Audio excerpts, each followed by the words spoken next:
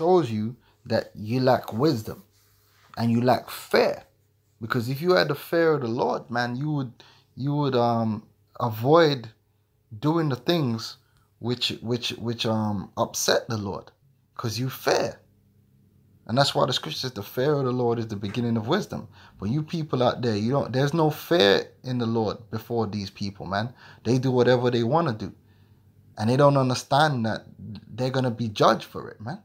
Because sentence against the evil work is not executed speedily, man. Let's, let's get that. Hebrews 8 and 11. Because sentence against an evil work, like these whores and these niggas going out there, right, reveling, because they don't all drop dead dead, every single last one of them don't just drop dead on the spot. They might just catch chlamydia and certain lesser things. They think that it's okay, so they're going to continue in that way. Because sentence against an evil work is not execute, executed speedily, therefore the heart of the sons of men is fully set in them to do evil. And these people are fully is fully set in them to do evil. They rarely don't see nothing, uh, no harm will come from their actions, from the path that they have chosen. They so they celebrate that path. That's why the scripture says, He that wandereth out the way of understanding shall remain in the congregation of the dead. They're dead. They're condemned. And it like like mom and um uh, Screwface said, him dead and him don't even know it. These people are dead. They got terrible judgments coming to them. And they don't even know it because they're completely ignorant to the fact that there's a higher power who is pissed off and extremely offended by their actions. That is not evident to them. Okay?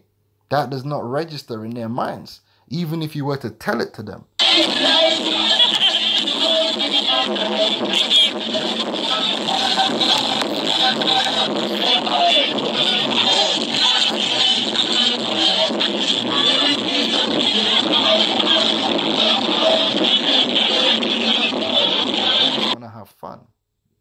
Ignorant to the to the terrible majesty of Yahweh Hashem Yahushai.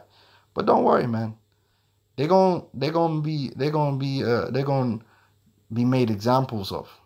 And the whole world from then on, man, after the time of judgment which is to come, is gonna acknowledge the power and the majesty of Yahweh Hashem Yahushai and the error of error.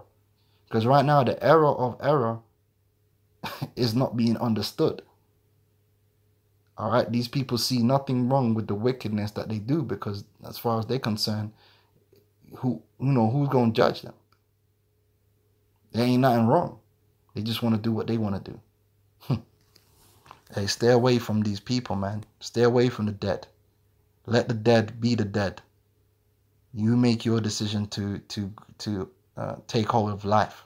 And that's the only thing you can do as an individual is make your decision in the spirit of meekness that you're going to bow down to the way of Yahweh Yahushai and fear him and have faith in his word and seek unto him through his son Yahushai. That's the only thing you can do, man.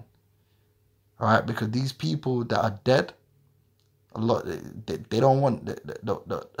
You're gonna find out that two third of our people they don't want to come out of the way of of of of of, of death. They're sold onto that. You got to leave them alone, man. All right? Shalom.